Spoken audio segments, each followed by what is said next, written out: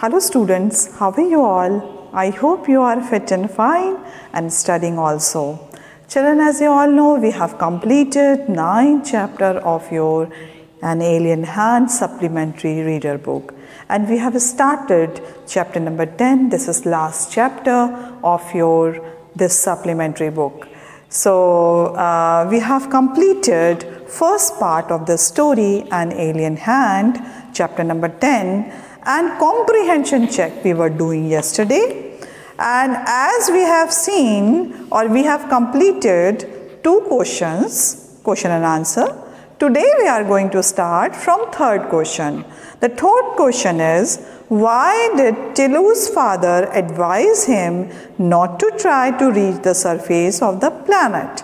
As we have seen, because the temperature of that surface was very low. That is why the oxygen is very less over there. That is why his father said this. So now children, let's write third answer. Answer number 3. And this is your comprehension check. Okay children? So now I am going to write answer number 3. Now Tilu's father Tilu's father advised advised him advised him advised him not to try not to try to reach the to reach the surface surface of the planet of the planet why? That we are going to write. Because the air because the air the air was too thin was too thin to breathe to breathe. Too thin to breathe and and the temperature temperature and temperature was so low was so low. Now children that one would freeze to death. That one would freeze to death. Freeze to death. So now children we have completed third number answer. That is Tilu's father advised him not to try to reach the surface of the planet because the air was too thin to breathe and the temperature was so low that one would freeze to death. Now children, we are going to do fourth question. What changes had occurred which forced people to live in the underground homes? Now children, we are going to write the answer number 4. Now children, we are going to write answer number 4.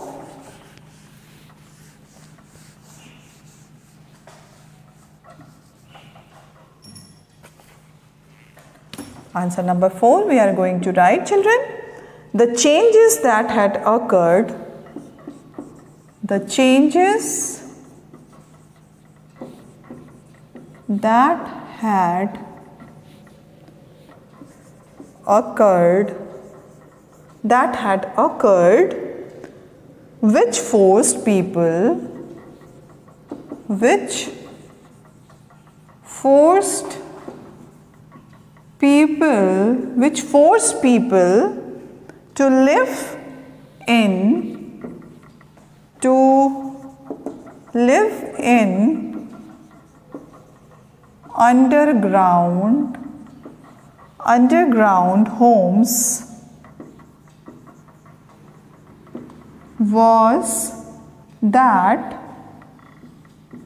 was that the sun the sun which had provided provided sustainable sustains sustains sustains turned hostile turn hostile and what happened? Turned hostile. It changed slightly. It changed slightly. It changed slightly but the change was sufficient. But the change was sufficient but the change was sufficient to upset the to upset the balance to upset the balance of nature of nature of nature on this planet on this planet on this planet. Now the birds animals and fish. The birds animals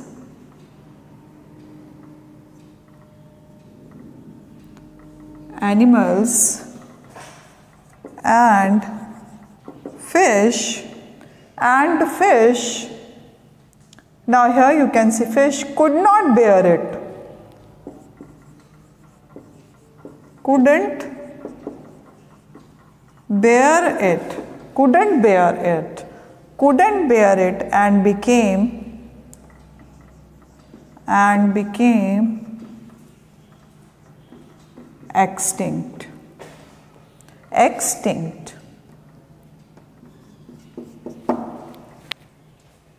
So this is answer number 4 children completed. Now after that we will do we will start second part of the story. So take a screenshot now we are moving to next part of the story. Now before going to start the next part of the story, three points are there which can summarize this story in short.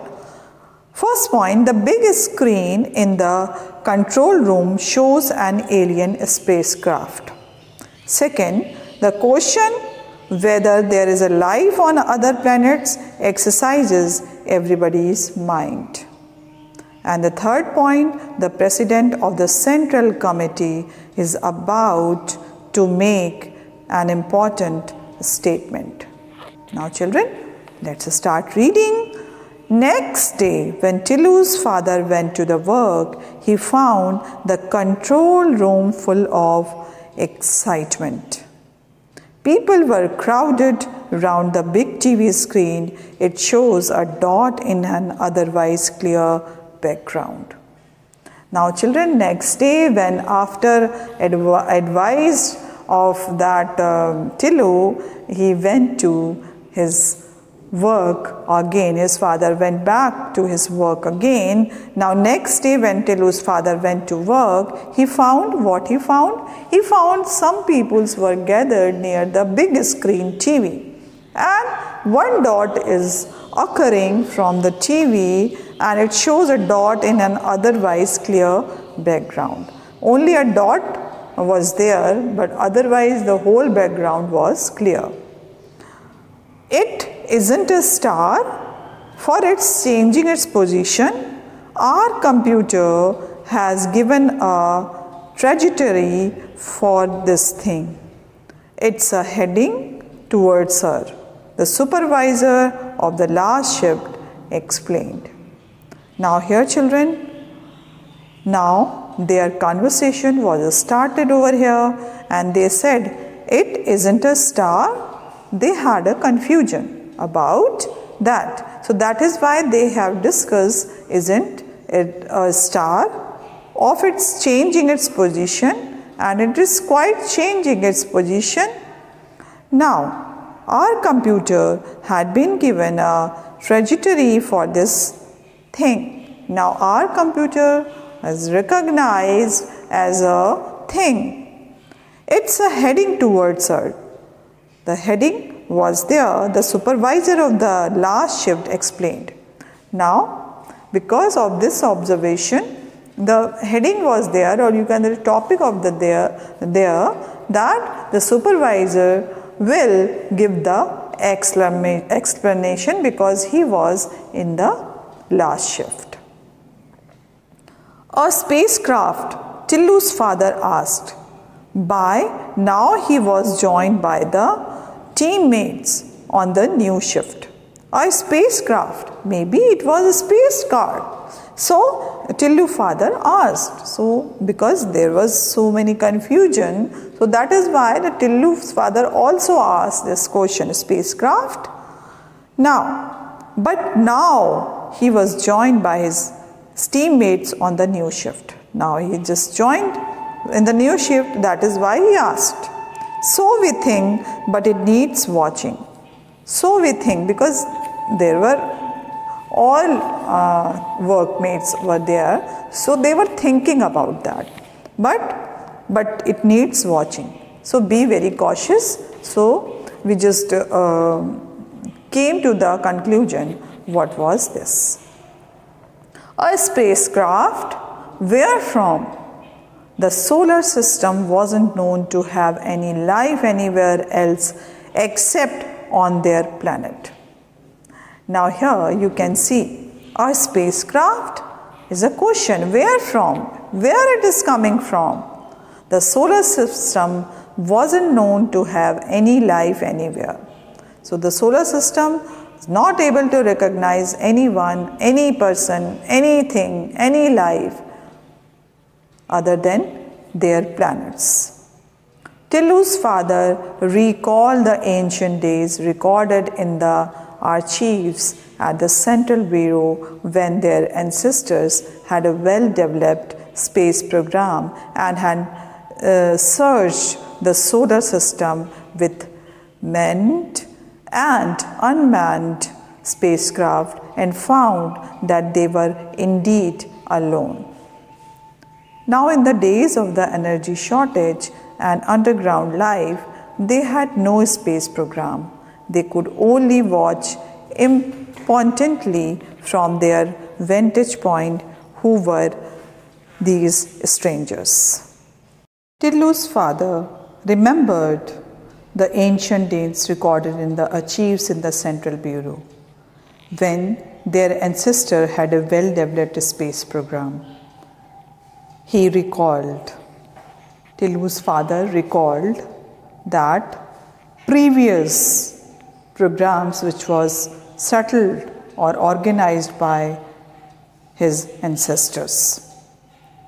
So, with manned and unmanned spacecraft and found they were indeed alone. So these type of the experiment the ancestor had already done. Now in the days of energy shortage and underground life, they had no space program because of the energy shortage or underlined program, underground program, they had no space program. They were not planning any space program. They could only watch importantly from their vantage point who were these strangers. So only the work was left to watch these type of the things which were very unknown for them they used to watch. The conference room in the central bureau was so quiet that an outsider would have thought it was empty. Far from it, it was full to captivity, but the members of the central committee were unusually quiet. They knew that the president was going to make a momentous announcement. So, after this strange thing they had seen, so the conference room was, you can say, pin drop silence were, was there. So, nobody uh, can felt that anything was going on inside the conference hall, but every member of that craft was waiting for the announcement of this chairperson or president. Colleagues, I will give you the report as I have it. While I speak, there may be a change in the situation. The president paused to get his papers in order and then continued. Two spacecraft are approaching us. One is in the fact outbiting our planet while the other is still far away. We guess that they are coming from our neighboring planet. How should we react? Number one, you, your views, please. Now, here, children, they just started talking about, and their speech was started.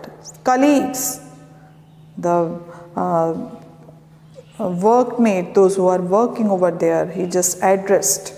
I will give you the report as I have it. Whatever I have as a report, I will give you. While I speak, there may be a change in the situation because this is unpredictable situation. So that is why there will be change in the situation while my speaking. The president paused to get his paper in order and then continued.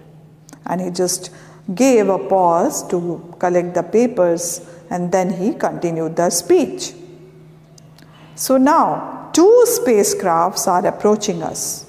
Now he announced that two spacecraft are approaching us or coming to us.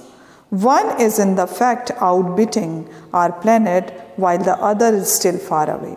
Now, one of them very near to us and one is far away for us from us. One is in the fact orbiting our planet. It means the orbit is there, the planet's orbits, you, as you all know, you are science students, you uh, must have known that orbit, every planet having its orbit.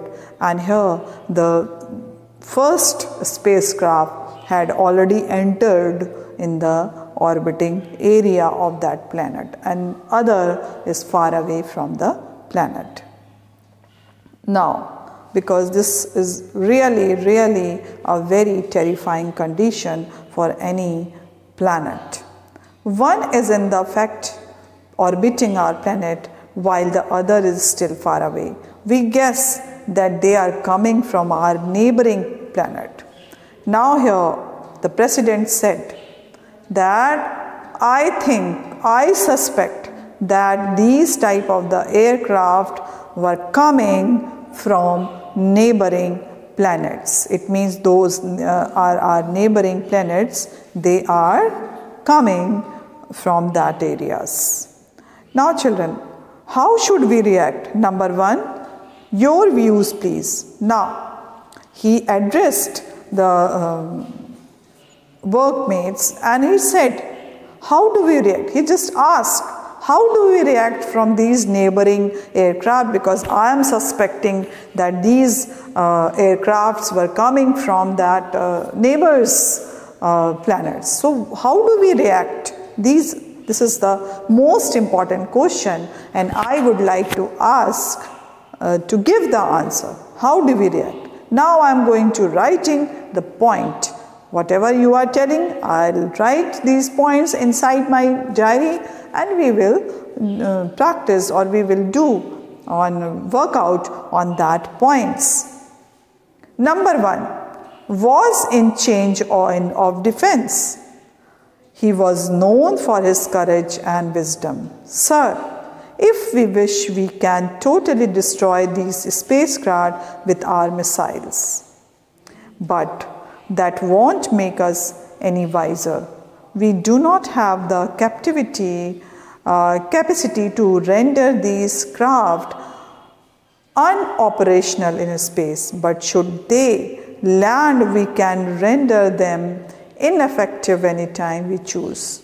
Our report says that they do not contain living beings, they only have instruments.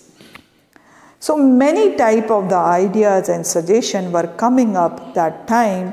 One said, number one was in charge or defense. He said he was known for his courage and wisdom. One, number one wasn't in charge of defense.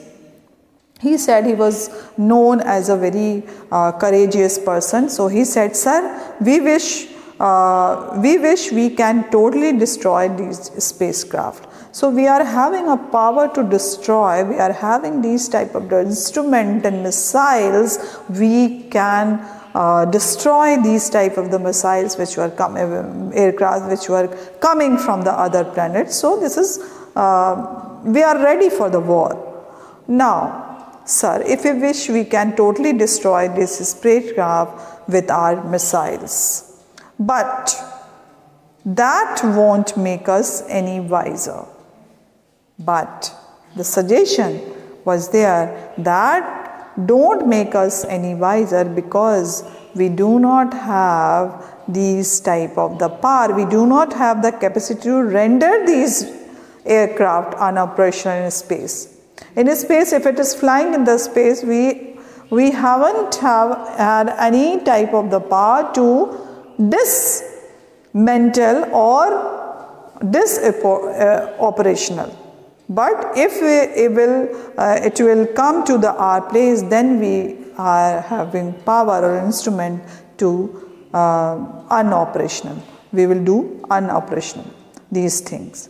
So, our reports say that they do not contain living beings. So, this uh, wise person said that our um, news, our uh, search or data said that there inside that uh, mm, spacecraft there is no any person eh, only instruments are there. So they only have instruments. Only they had only and only they had only instruments. Number 2 your opinion please. The president asked the scientist on the committee. Now here he asked to the security person and now he moved to the uh, next person, next group that is uh, uh, that is the president asked to do opinion is scientist. Scientist committee he asked. Now the turn of the scientist was there. So children, the scientists on the committee, I recommended non-interference and passive observation now scientists started giving their suggestion. The suggestion was very authentic, you can see. I commended non, I recommended non-interference. Be still, be calm and watch their movements in the or their activity in the space.